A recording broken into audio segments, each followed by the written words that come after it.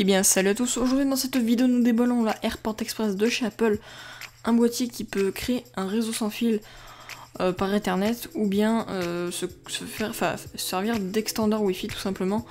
Donc ici on voit les fonctions, ici on voit les ports qu'elle possède, donc le port euh, secteur, un port WAN, un port Ethernet, un une petite prise USB et une prise de jack pour servir d'AirPlay aux enceintes qui ne sont pas Bluetooth.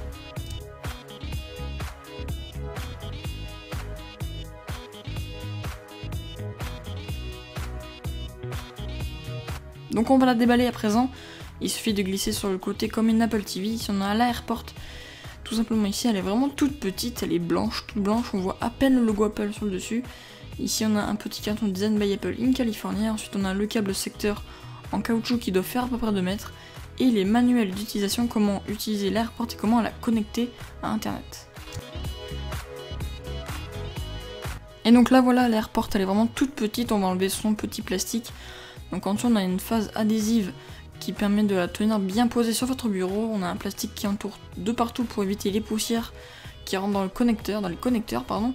Ici on a tous les ports, donc le port secteur, un port WAN, un port euh, Ethernet, une prise USB et un port jack. Ici le logo Apple avec une surface en caoutchouc comme je viens de le dire. Ici un logo Apple et c'est tout en fait la petite diode à l'avant.